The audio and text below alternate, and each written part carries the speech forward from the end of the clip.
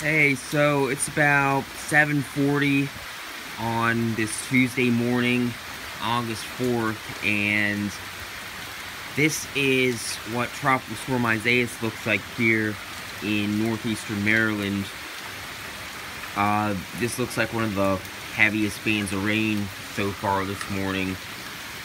Um, so first of all, Isaias made landfall as I think a Category 1 hurricane in North Carolina last night, and now we are getting some of the heaviest rain from it this morning here in Maryland. It's down to a tropical storm now, but we're still under a tropical storm warning for a good part of the day. We're under a couple of flood watches.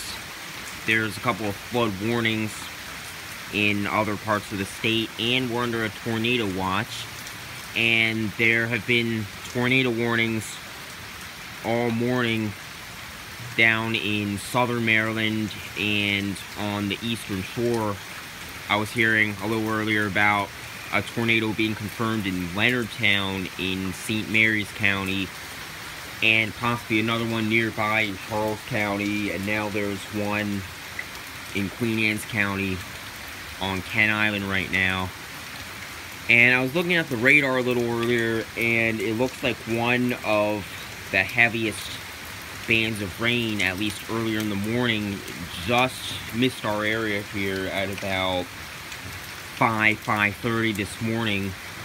Uh, it was situated a little further to the east around Wilmington, Delaware, and a part of southeastern Pennsylvania.